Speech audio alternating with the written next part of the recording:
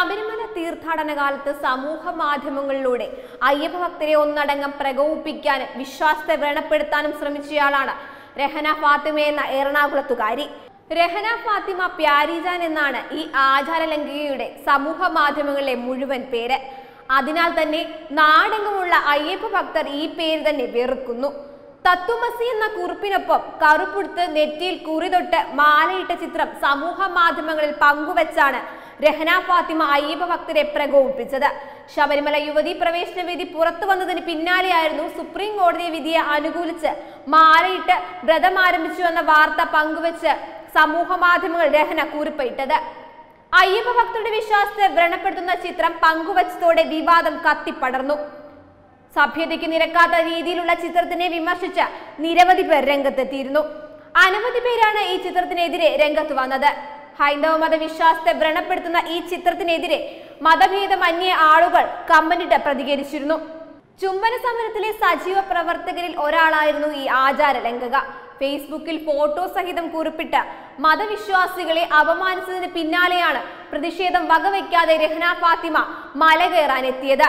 എന്നാൽ രഹന കറുപ്പെടുത്ത് മല കയറാൻ എത്തുമെന്ന സൂചനകൾ ഒന്നും തന്നെ അന്ന് ഉണ്ടായിരുന്നില്ല ഇരുമുടിക്കെട്ടുമായി കറുപ്പുടുത്തു വരുന്ന സ്ത്രീകളെ ശബരിമലയിൽ പ്രവേശിപ്പിക്കും എന്നായിരുന്നു അധികൃതർ വ്യക്തമാക്കിയത്. ആക്ടിവിസ്റ്റുകളെയും അവിശ്വാസികളെയും മല കയറ്റുകയെന്ന സർക്കാർ ഗൂഢാലോചനയുടെ ഭാഗമായാണ് ഒക്ടോബർ പത്തൊൻപതിന് രഹന ഫാത്തിമ ഉൾപ്പെടെയുള്ള ആചാര ലംഘകർ മല കയറാൻ എത്തിയത് രഹന ഫാത്തിമ മല കയറാൻ എത്തുമെന്ന വിധത്തിൽ ഭർത്താവ് പോസ്റ്റ് ഇട്ടിരുന്നു. ഷണ്ടന്മാരെ പോലെ ഇവരെ മഫ്തിയിൽ അനുഗമിക്കാനായിരുന്നു കേരള പോലീസിന്റെ വിധി. നടപ്പന്തൽ വരെയാണ് രഹനയ്ക്ക് പോലീസ് സുരക്ഷ നൽകിയത്. നടപ്പന്തൽ എത്തിയപ്പോഴേക്കും അയ്യപ്പ ഭക്തരുടെ പ്രതിഷേധം ശക്തമായിരുന്നു. പരികർമ്മികൾ പൂജാകർമ്മങ്ങൾ പോലും നിർത്തിവെച്ച് നാമജപവുമായി രംഗത്ത് വന്നു. ആചാരലംഘനം നടന്നാൽ നട അടച്ചിടേണ്ടി വരുമെന്ന് തന്ത്രിയും വ്യക്തമാക്കിയിരുന്നു. നടപ്പന്തലിൽ ഭക്തരുടെ പ്രതിഷേധത്തെ തുടർന്ന് യാത്ര അവസാനിപ്പിക്കാൻ ഐ ജി ശ്രീജിത്തിന്റെ ഭാഗത്തു നിന്ന് നിർദ്ദേശമുണ്ടായപ്പോഴും പതിനെട്ടാം പടി ചവിട്ടണമെന്നായിരുന്നു രഹന ഫാത്തിമയുടെ നിലപാട്. പിന്നീട് ഇവരെ കാര്യങ്ങൾ പറഞ്ഞ് ബോധ്യപ്പെടുത്തിയാണ് തിരികെ ഇറക്കിയത്. അയ്യപ്പ ഭക്തരുടെ കൂട്ടായ പ്രതിഷേധത്തിനൊടുവിൽ രഹന മലയിറങ്ങാൻ തീരുമാനിക്കുകയായിരുന്നു. തിരിച്ചു പോകാതെ നിവർത്തിയില്ലെന്ന് പറഞ്ഞായിരുന്നു രഹന ഫാത്തിമയുടെ മലയിറക്കം. ആക്ടിവിസ്റ്റുകൾക്ക് സുരക്ഷ ഒരുക്കേണ്ടെന്ന പ്രസ്താവനയുമായി ദേവസ്വം മന്ത്രി കടകംപള്ളി സുരേന്ദ്രനും രംഗത്തെത്തിയിരുന്നു. ശബരിമലയുമായി ബന്ധപ്പെട്ട് രഹന ഫേസ്ബുക്കിലിട്ട പോസ്റ്റുകൾ മതവികാരം വ്രണപ്പെടുത്തുന്നുവെന്നാണ് ബി ജെ പി നേതാവ് ആർ രാധാകൃഷ്ണ മേനോന്റെ പരാതിയിൽ പോലീസ് രഹന ഫാത്തിമയെ അറസ്റ്റ് ചെയ്തിരുന്നു. പതിനെട്ട് ദിവസത്തെ റിമാൻഡ് തടവിന് ശേഷമാണ് രഹന ഫാത്തിമ പുറത്തിറങ്ങിയത്.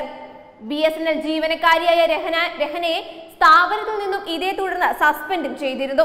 യുവതി പ്രവേശനത്തെ അനുകൂലിച്ചുള്ള സുപ്രീം കോടതി വിധിയെ ആദ്യം മുതലേ പിന്തുണച്ച ആക്ടിവിസ്റ്റുകളിൽ ഒരാളായിരുന്നു രഹന ഫാത്തിമ. ഒരു മതത്തിൽ പെടാത്ത ആളാണ് താനാണ് താനെന്ന് നേരത്തെ വ്യക്തമാക്കിയിട്ടുള്ള ആൾ കൂടിയായിരുന്നു രഹന ഫാത്തിമ. ആർത്തവം അശുദ്ധമാണെന്ന നിലപാടിനെതിരെയും രഹന രംഗത്ത് വന്നിരുന്നു. ശബരിമല വിവാഹത്തിന് ഹിന്ദു വിശ്വാസവുമായി ബന്ധപ്പെട്ട മറ്റൊരു വിവാഹത്തിലും ഈ ആചാര ലംഘക ഉൾപ്പെട്ടിരുന്നു. അത് തൃശൂരിലെ പുലികളിയുമായി ബന്ധപ്പെട്ടായിരുന്നു. അന്ന് രഹന ഫാത്തിമ ഉൾപ്പെടെയുള്ള ചില ആക്ടിവിസ്റ്റുകൾ പുലികളിൽ പുലിവേഷമണിഞ്ഞ് പങ്കെടുക്കുകയും ചെയ്തിരുന്നു. വെബ് ഡെസ്ക് തത്തുമൈ ന്യൂസ്